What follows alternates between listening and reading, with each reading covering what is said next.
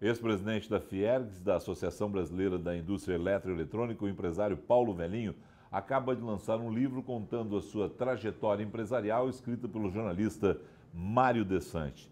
Doutor Paulo, o que mais lhe marcou nessa vida empresarial?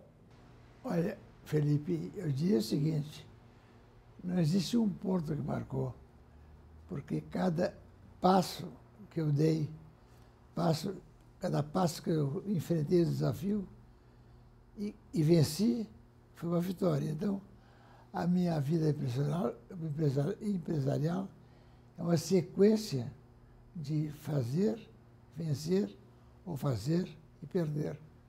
Mas principalmente fazer. Todo mundo aprende no erro, no caso da vida empresarial? Ah, sem dúvida. O erro é um componente importante que acompanha a gente. Só não erra quem não faz. Eu sempre digo que a, a minha história né, é uma somatória de erros e de acertos, porque foi em cima do erro que eu construí o sucesso. O senhor negociou com americanos, japoneses, chineses ao longo da vida. Qual é o próximo centro do mundo? Eu te diria, quem está preparado para ser o centro do mundo é a China. É aquele país que tenha preservado o homem, elegido, eleito o homem como objetivo principal da nação, investir nele em termos de saúde, educação, cultura. Não se falava na China, já se falava no Brasil como país do futuro. O Brasil pode ser esse país, portanto? Pode, mas não quer. O que, que falta para o Brasil?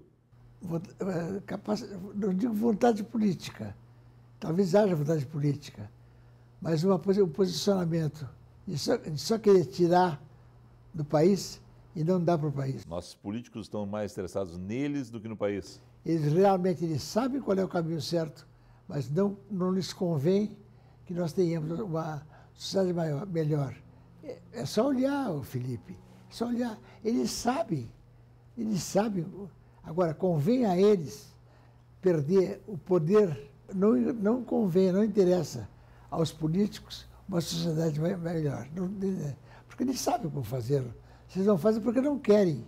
Qual o conselho que o senhor repete para os jovens que lhe procuram né, e que agora está no seu livro mostrando a sua trajetória empresarial? Eu digo a eles, perseverem.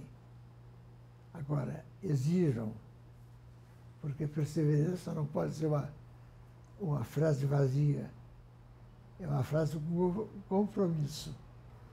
Porque o homem gaúcho, é, a etnia é muito boa, ele tem tudo para ser um vencedor, mas ele tem que pensar, pensar mais, pensar mais em respeitar o seu compromisso com a sociedade ao invés de pensar em si próprio.